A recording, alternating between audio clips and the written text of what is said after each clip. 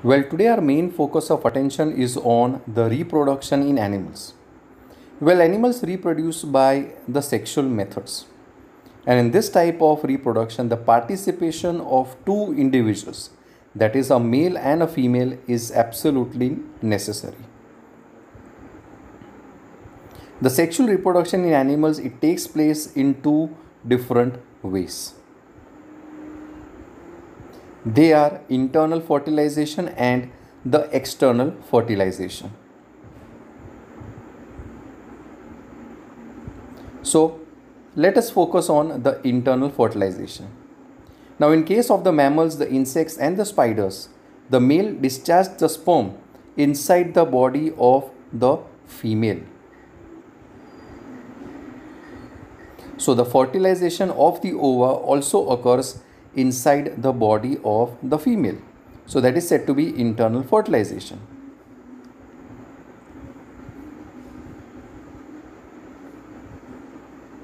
In case of the external fertilization, such as in case of the fishes and the frogs, both the male and the female discharge their sperms and the ova respectively in case of the water after mating.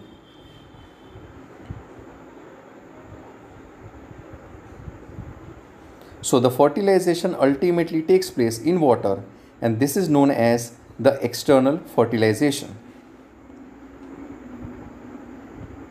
Now focusing on the human reproductive system. Now human reproduction is highly evolved. The structures associated with reproduction are different in males and females, so thereby forming a specialized male and the female reproductive system. In humans, the reproductive system becomes functional at a definite age, and that age is said to be the puberty age.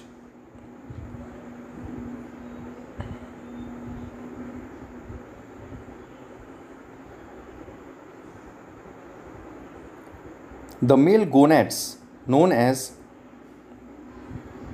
or the male gonads, they produce the sperms, and the female gonads, that is the organs, the sexual organs, they produce the ovum. Now, the testes and the ovaries, besides producing the viable, that is the living gametes, they also secrete their respective hormones also. These are the testosterone and the estrogen. These hormones play a very important role in the process of the reproduction.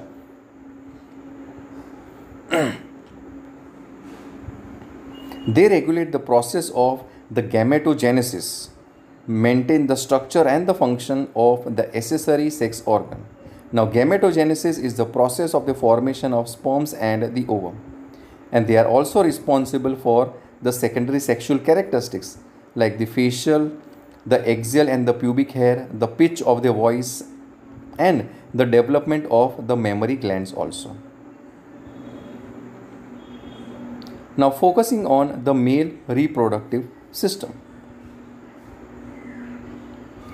Now the male reproductive system it basically consists of the testis, duct system, the accessory glands and the copulatory organs. First of all is the testis. Now these are two small ovoid structures that are situated one on each side in the scrotal bag. The scrotum has a temperature 1 to 3 degrees Celsius lower than the normal body temperature. Now, why is it so?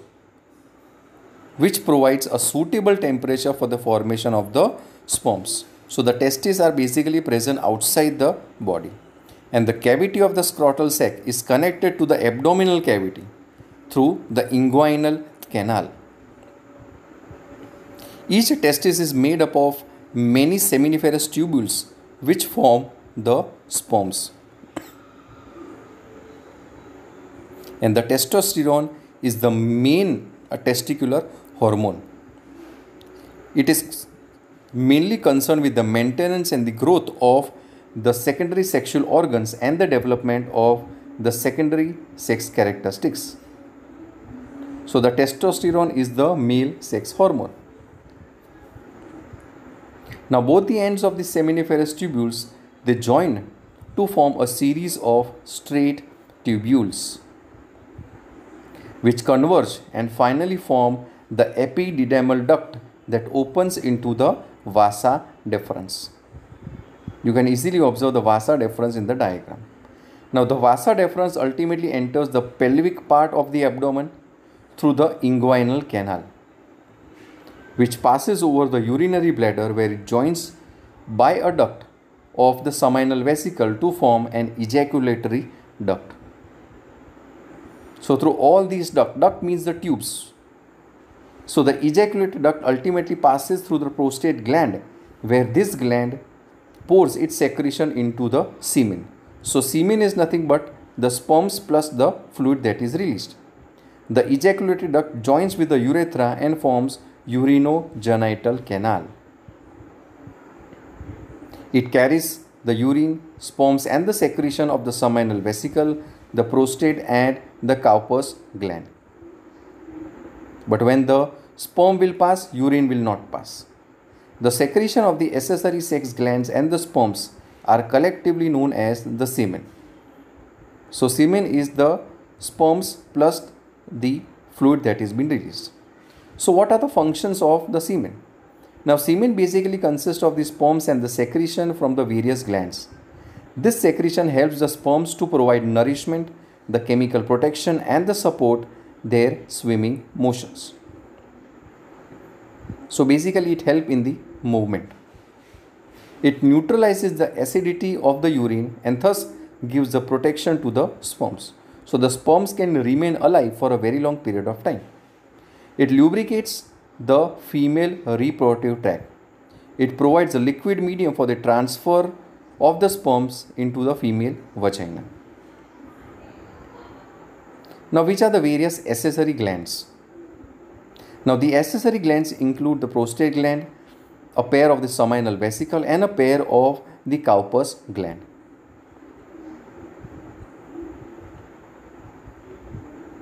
First one is the prostate gland. Now it is a large lobulated gland which surrounds the urethra. Now the prostate gland functions in the secretion that activates the sperm to swim. It acts as a source of nutrition for the sperms and it neutralizes the acidity of the urine which may kill the sperms. So the sperms can remain alive for a very long period of time. The second one is the seminal vesicle. Now the seminal vesicles are two small convoluted pouch-like structures behind the bladder and above the prostate gland.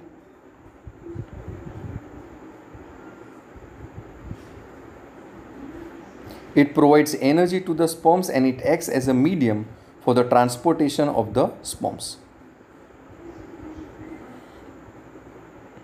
The third one is the Cowper's gland. These glands are present at the base of the penis.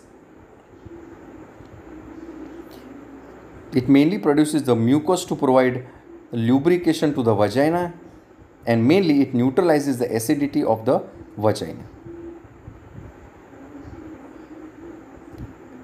Next is the copulatory organ. Now the penis is the copulatory organ which serves as a passage for the urine as well as the semen. Well, the next one is the female reproductive system.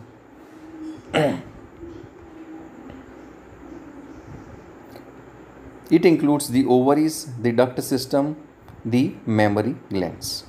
The first one is the ovaries. Well, the human ovaries are a pair of structures, one on either side of the vertebral column in the pelvic region. The waist region is the pelvic region.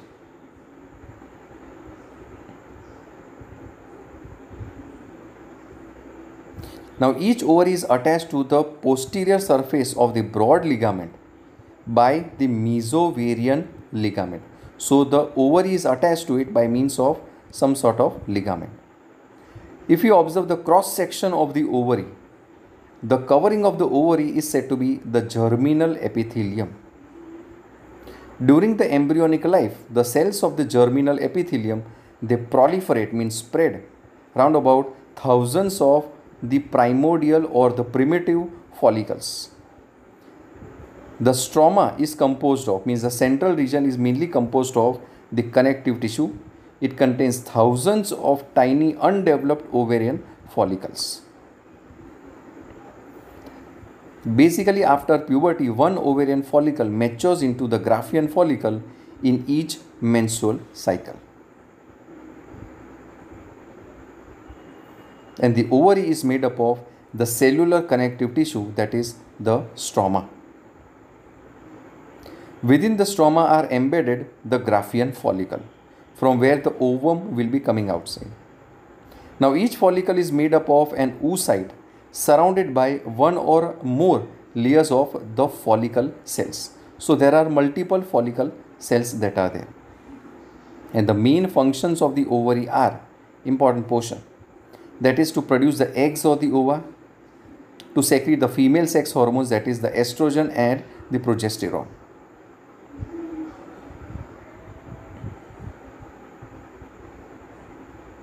These are the female sex cells. There we can observe it out. Now an ovum is a small spherical cell just visible to the naked eyes. It is larger than the spermatozoa. Basically an ovum is a single cell with a nucleus surrounded by the cytoplasm. And the cytoplasm contains a small amount of yolk granules for the purpose of the nourishment also. So when the sperm enters, it remains viable, it remains strong there. The cell is enclosed by a strong thick membrane and it is immotile, it cannot move. The, the next portion is the duct system. It contains the two fallopian tubes, the uterus, the cervix and the vagina. The first one is the fallopian tubes. Now the muscular fallopian tubes they open into the uterus. The free the free end expands into the finger-like structures known as the fimbriae. And the free ends they lie close to the ovary. So here you can in the diagram you can observe it out. When the ovum is released, it is picked up by the fimbriae and is conveyed to the uterus through the fallopian tube.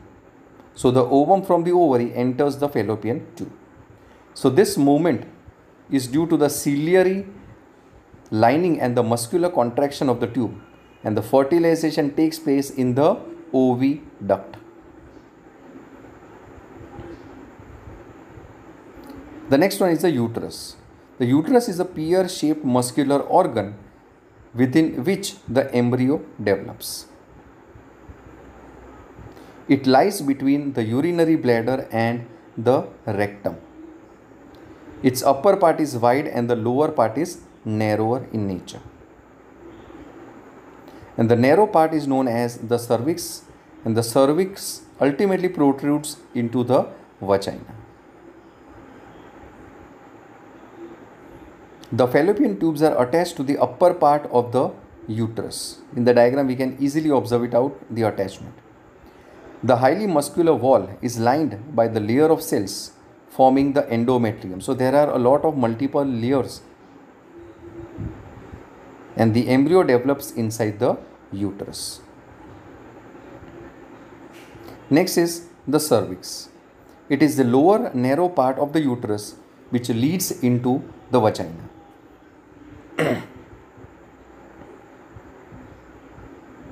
now the vagina is a short, wide and muscular tube and the vagina and the urethra have separate openings.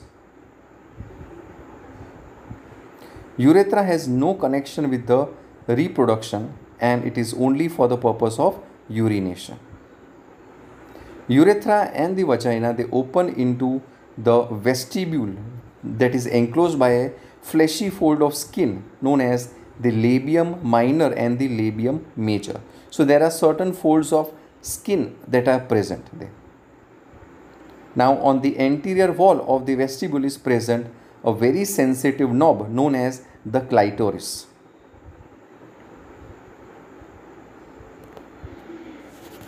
The next one is the mammary glands.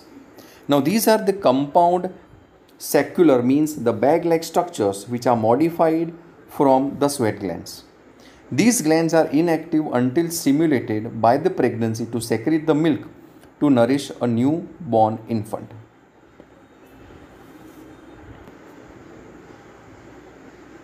Well, focusing on the sexual cycle in case of the females known as the menstrual cycle or the menstruation.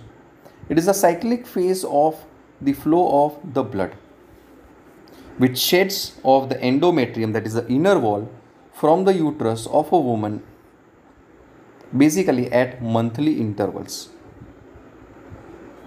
and it occurs on an average of 28 days and lasts for about 4 days.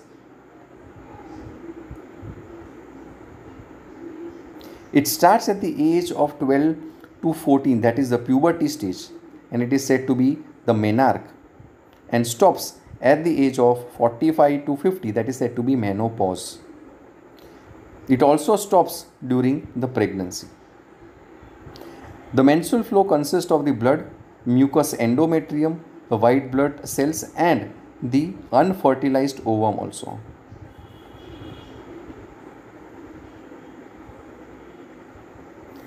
The cyclic changes during the menstrual cycle are divided into four major phases.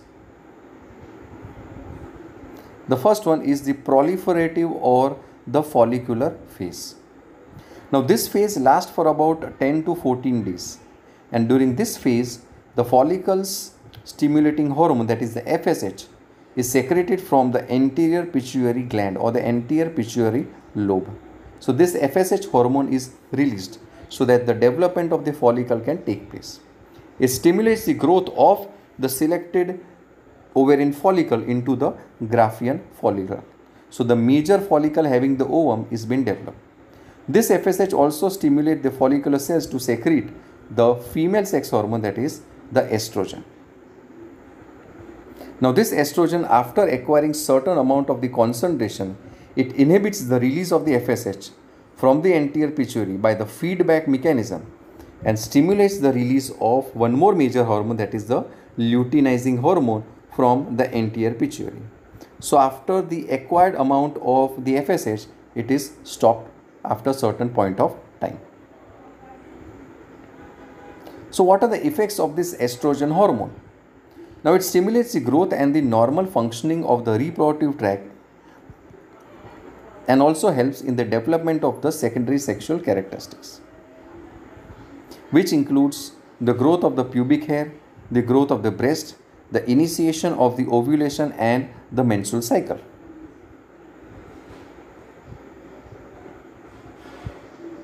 Now, this is the characteristic of the female puberty which is attained at the age of 13 in case of the females. The next is the ovulation or the ovulatory phase. Now, luteinizing hormone is responsible for the bursting of the mature Graafian follicle and thus releasing egg into the fallopian tubes.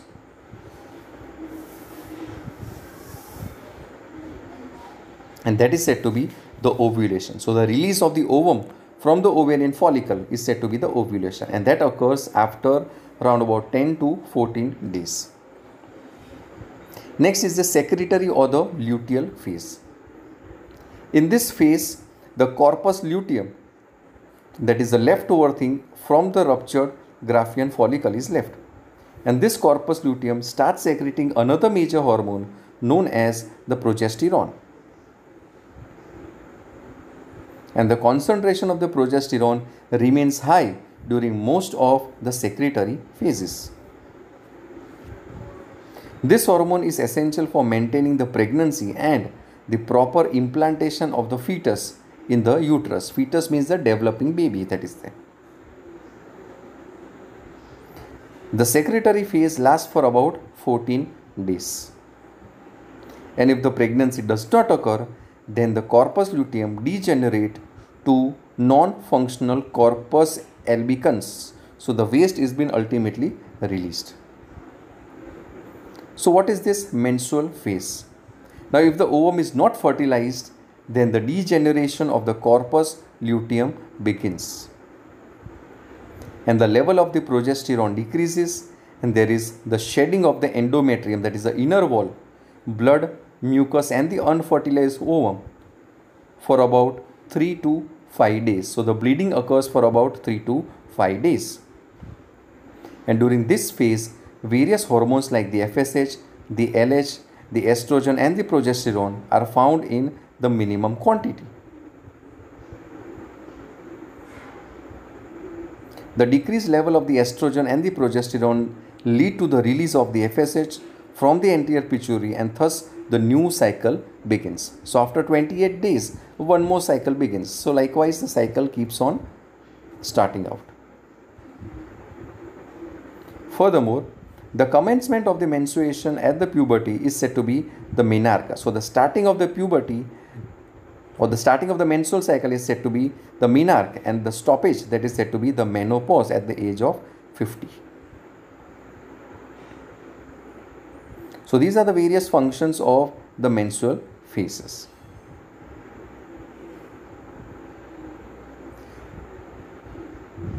Now let us talk about the fertilization. So after the release of the ovum from the ovary, it enters one of the fallopian tubes where it remains viable for around about 12 to 24 hours and waits for the sperm to enter. During the sexual intercourse, the sperms enter the female vagina with each ejaculation of the semen. Now, only one sperm is required for the fertilization of the ovum. And the head of the sperm enters the ovum by the penetrating the wall of the ovum. So, only the head will be entering, not the tail and when the sperm enters the ovum, it loses its tail and the body.